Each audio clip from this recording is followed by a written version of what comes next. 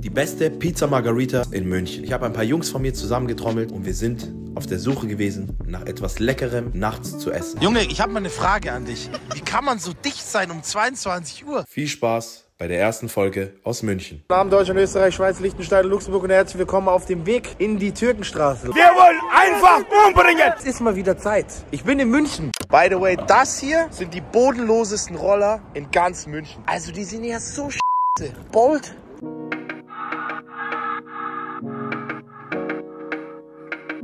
Yeah.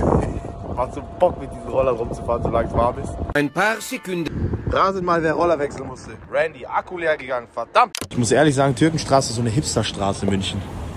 Ich weiß noch nicht, ob ich die Straße feiere oder nicht. Das ist so ein Ding. Howie. Herzlich willkommen beim Soda, Ladies and Gentlemen. So, Ladies and Gentlemen, wir sitzen hier in der dunklen Nacht. Baran ist da. Lukas ist da. Lukas ist da. Lukas ist da. Lukas ist da. What the f Seht doch einfach beide aus wie ein Lukas. Und der einzig wahre Knarovic. Was geht? Thank you, thank you, thank you. Ich glaube, dir taugt sowas, ne? Der ist krass. Mojito. Papa, falls du das siehst, das ist immer Alkohol. ist wirklich, ist wirklich. Ich probiere jetzt, ob es dir schmeckt oder nicht. Das schmeckt geil. Ich mache jetzt auch mal einen Test. Alkoholfreies Bier. Schmeckt nach Slush. Wir sind auf jeden Fall unterwegs. Wir werden jetzt zu einer Pizzeria schauen, die ich persönlich sehr, sehr feiere. Wir haben es, um es genau zu sagen, 22.09 Uhr. Junge, ich habe mal eine Frage an dich. Wie kann man so dicht sein um 22 Uhr? Ich fahre sein Auto. Loser. Wie viel hast du aber getrunken? Bro, zwei Bier und ein. Perfekt, das ist wirklich, das ist wirklich ein richtiger Amateur. Bro, eine Maß reicht. Oh, chill. Sprachung. Weißt du, womit ich heute mein Geld verdient habe? Volleyball gespielt. Kannst Volleyball. Was arbeitest du? Volleyball. Volleyball gespielt. ja. Schwedische Nationalmannschaft. Da wäre ich gern. Ich wäre gern Physiotherapeut. Wir sind auf jeden Fall gefühlt jetzt 10 Minuten mit dem Roller gefahren, damit wir zum Auto kommen. Der Mann dort, also der Lukas mit dem weißen Pulli, der braucht einfach Elon Musk persönlich, damit er einen Roller ausmachen kann. Das ist einfach ein Samsung. Jetzt zeige ich euch auf jeden Fall eine Pizzeria, die ich liebe. Ist das gerade kaputt gegangen oder? Er hat's runtergeschmissen. Während du gefahren bist? Na! Also du hast jetzt kein Internet und Handy ist gebrochen. Perfekt. Die letzten drei Male, als ich in München war, war ich hier immer Pizza essen. Und ich sage euch so, dreimal deliziös.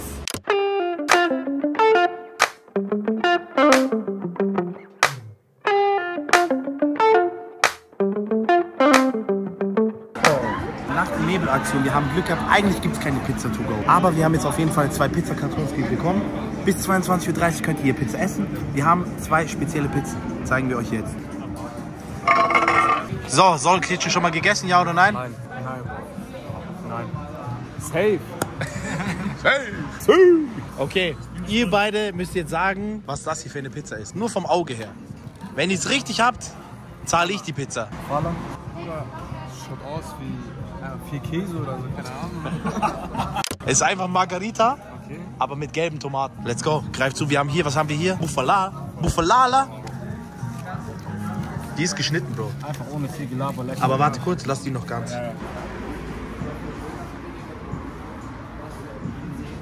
Boah, geil, ich man schmeckt die Tomaten direkt. Es schmeckt komplett anders. Es schmeckt gar nicht nach Margarita, ich bin ehrlich.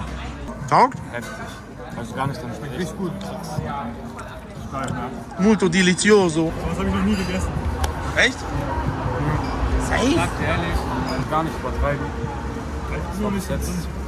Die beste Pizza, die ich gegessen habe. Glaube ich dir schon. Gelbe Tomatensauce schmeckt komplett anders. Schwarze Männer sind auch besser. Weiße Snickers ist auch kleiner als.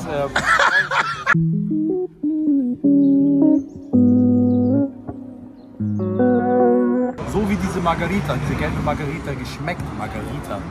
Margarita. Margarita. Auf jeden Fall so wie die geschmeckt hat, habe ich bis jetzt noch keine gehabt, die genauso geschmeckt hat. Die gelben Tomaten merkt man, da sind noch Gewürze oben drauf, das habe ich schon gemerkt. Und der Käse, geil. Rand, ich sage euch, warum ich diese Pizza liebe. Ich zeige es euch jetzt. Diesen Test.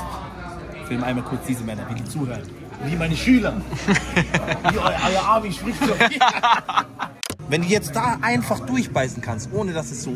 Kennst du, dass dein, dass dein Kiefer fast so wehtut wie bei einer harten Butterbreze? Dann ist es ein guter Teig. Oh. Oha, Bruder. du hättest doch noch mehr.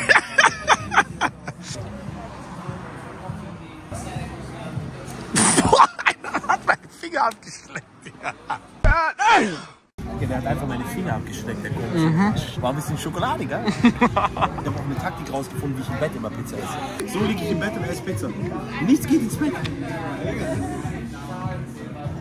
Ich sag so, wie es ist einer meiner liebsten Teige, die ich in München bei Pizzen gegessen habe. Ist gut, aber die andere war schon besser. Ich finde sie auch gut, aber wie gesagt, wie er schon sagt, die andere war besser. Andere war Highlight. Tamam, okay, damit kann ich mich abfinden. Ein bisschen zu sauer bisschen. Ja, die Tomate ist halt anders. Ist eine saure Tomate. Aber weißt du, was ich gar nicht feiere? Ist, wenn Tomatensauce so richtig süß ist. Und hier ist sie sauer. Schön frisch, einfach natürlich belassen. Schmeckt nach Tomate.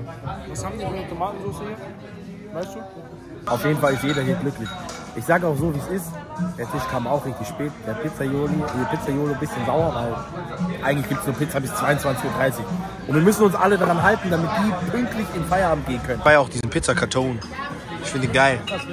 Ist ein Standard. Das war's auch von Soul Kitchen. Was sagen wir zur Pizza? 1 bis 10. Äh, ein, doch 1 bis 10. 1 bis 10? 8. 9,5. 9,5? Hä? 8,5, was sagst du? 9,5. Wenn das 8,5 ist, was ist ehrlich sagen? 7. Die andere 7? Wenn ich Pizza bewerte, gehe ich halt auf Teig und so auch ein. Deswegen. Ja, aber bei uns ja derselbe im Endeffekt, weißt du? Okay, ich check. Also ihr macht nur Geschmack. Ich mach jetzt nur Geschmack. Mir Also ich würde ich würd beide, glaube ich, 8,5 machen. No, obwohl der gelbe ist schon besonders, der würde ich eine 9 geben. So. Die ist einfach lecker. Das ist auch so eine Late-Night-Pizza, die ein bisschen zu gut ist für eine Late-Night-Pizza. Weil eigentlich, wenn du so... erwarte mal was anderes. Wenn Du willst eigentlich schlechter essen, wenn du so spät essen gehst. Wenn du die Late-Night-Pizza nennst, ist respektlos. So, Ladies and Gentlemen, wir sind auf jeden Fall bei Bergwolf. Der Mann hat Bergwolf empfunden, äh, empfohlen. So ungefähr eine Minute entfernt von äh, Soul Kitchen. So viel ich weiß, die originale Currywurst kommt eigentlich aus NRW, würde ich so sagen. So ein NRW-Berlin-Ding. Wenn mich nicht alles täuscht, wurde die früher sogar mit Kalbsmagen überzogen. Ich bin mir nicht sicher. Ihr könnt es gerne in die Kommentare schreiben. Feier Currywurst. Wir haben in NRW auch schon Currywurst gegessen, so zwei, dreimal. War brutal. Ich glaube, eine Hot Chip Challenge 2 ist da, oder? Wollen wir einfach eine Schafe fetzen? Die schärfste, die die haben. Hä? Wir beide, komm. Jedes Mal denke ich mir, ich habe keinen Bock auf diese Schärfe, aber dann mache ich es trotzdem. Vorsicht hier, Stolpergefahr für euch, falls ihr herkommt. 12 Sekunden. Das ist absoluter Minuspunkt. Nur Barzahlung. Im Jahr 2023. Vier Minuten später haben wir die Stadtsparkasse gefunden. Currywurst geht safe auf die jetzt. By the way, hier sind wir am Gärtnerplatz. Während Covid gab es hier immer so eine fette Versammlung bis 22 Uhr und dann sind von jeder Seite Autos reingefahren und diese Leute sind so weggelaufen. Wollen wir mal ein paar Ausschnitte einblenden von damals? Von hier? Hast du? Vielleicht. Kommt drauf an, wie schlimm sie sind. Egal, werden trotzdem eingeblendet, wenn sie nicht, wenn sie jugendfrei sind. Lukas gegen Lukas.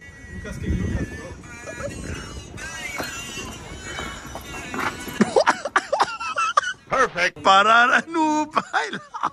Wenn dieses Video 2000 Likes macht, was sind 2000 Likes viel? Wenn dieses Video 2000 Likes macht, dann gehe ich aufs Oktoberfest. Oh, tu mir das doch nicht an. Wir sind zurück, Ladies and Gentlemen. Wir nehmen zwei Stück, oder? Ja, zwei Stück. Zwei Stück. Und dann ist es für eine Spezi. Schon scharf. Also Aber nicht, schärfer, nicht schärfer als ein Hot Chip, oder? Wir nehmen einmal scharf, dann nehmen wir einmal normal. Aber mit Pommes, ohne Pommes, nur die Wurst, was für eine Wurst, ein bisschen mehr brauchen. Was ist das für eine Wurst? Für ein Fleisch? Schwein, aber wir haben auch Rind. Dann nehmen wir auf jeden Fall einmal Rind. Wollt ihr Schwein? Oh, kein Schwein. Ja, dann nehmen wir rote nur oder Rind. weiße? Okay, nur. Nur Rind, also nur rot. Nee, rote gibt's auch als Schwein. Aber ihr wollt ja Rind. Die ist aber auch rot. Okay. Das ist auf jeden Fall der Laden, der immer bis 0 Uhr offen hat, ab Donnerstag bis 2 Uhr und ab Freitag bis 4 Uhr und Sonntag bis 22 Uhr. Das heißt, hier kannst du richtig spät essen gehen am Wochenende. Das ist aber geil, Alter. Bis 4 Uhr. Das ist. So ist in Berlin. Und das ist geil für München. Der würde nicht mal jetzt für 1000 Euro einen Hotchip essen. Niemals in meinem ganzen Leben. 20.000 Euro jetzt. Ja, sofort. 20.000 Euro. Oder esse ich auch fünf. Der Laden befindet sich auf jeden Fall direkt bei dieser U-Bahn-Station Fraunhofer Straße. So, das ist die brutale Brute. und das ist die normale. Kurze Frage habe ich noch. Ist es so, dass eigentlich originale Currywurst früher mit äh, Kalbsmagen gemacht wurde? Boah, da fragst du mich. Keine Ahnung. Okay, passt. Danke. Gar kein Problem. Schönen Abend. Bye, bye. So, hier haben wir auf jeden Fall einmal brutale Schärfe. Ich finde, man hätte sich ein bisschen mehr Mühe geben können beim Anrichten, aber ist trotzdem süß. Hier haben wir einmal normal. Die sehen komplett gleich aus, oder? Ist ein bisschen random. Pommes-Test. Ja, ist okay. Ja, Schwimmbad. Schwimmbad? Schwimmbad ist aber 10 von 10, gell? Die müssten mehr Salz sein. Null und Salz, gell? Okay, Randy. Probier erstmal, ob das Nur scharf ist. Ich. Ich glaube nicht, dass sie so heftig scharf ist. Auf die One-Chip-Challenge.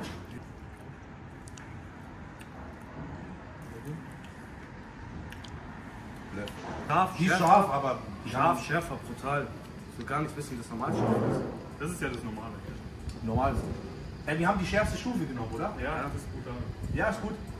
Kann machen. Aber ich finde echt, die Currywurst ist eigentlich lecker. Die, Außen, die Außenhaut ist nicht so zäh, gell? Kann man gut beißen, der Mann. Probier mal die Currywurst, Lukas. Ist so random, mit zwei Lukas. Beide mit K auch, gell? Ja, beide mit K. Junge, Junge, ich kenne mehr Lukas als... Weiß ich jetzt auch nicht. Matthias, ey. Ich kenne gar keinen Matthias. Ist aber nicht scharf. Ein bisschen, man merkt Gut gewürzt einfach. Also klar, ja. Aber ich finde, die Wurst an sich ist gut. Ist nicht viel Unterschied, gut, gell? Von der Schärfe der Soße, oder was? Ja, ist nicht viel Unterschied, Bro. Wenn ich die bekommen würde, würde ich denken, ist einfach so, das gehört so. Sag mal. Ja, normale Schärfe. Das ist eine gute Currywurst. Jetzt mal Real Talk. Weil ich bin Fan davon. Eigentlich ist Currysoße so glibberig. Und das ist eine richtige Soße noch. Finde ich geil. Fandest du gute Nachtwurst war besser? Eigentlich müssten wir noch vorzug, damit du einen Vergleich hast, gute Nachtwurst. Nach der Wurst ist auf jeden Fall gute Nacht für mich. Aber du kannst von mir noch eine gute. Das ist eine leckere Wurst. Was hat die gekostet? Beides zusammen mit Wasser, 19 oder so. Da kommt noch Nachzuschlag. Die Arbeiter müssen ja auch ein bisschen was verdienen. Statt einen Döner zu essen, das Lebensmittelfeld Ja, weil bei Döner kannst du auch richtig mies erwischen. Da will ich lieber das essen. 12 Uhr Mitternacht. Eins, zwei, drei. Vier. Junge. Was ist das, Bruder? Ich hab Currypulver einfach dort, Bro. Ich bin der Hellste, Gott sei Dank, nur mein Schuh. Ein paar Sekunden später. Du bist nicht der hellste von uns, mein Freund. Eigentlich sollten die auch eine Dusche anbieten. Currywurst riecht gut. Ja? Ja, feier ich. Zu late. Ich habe mit euch allen nichts zu tun, wenn du mich fragst. Kannst du dich noch an deinen Namen erinnern? Ja, Samuel. Samuel, perfekt.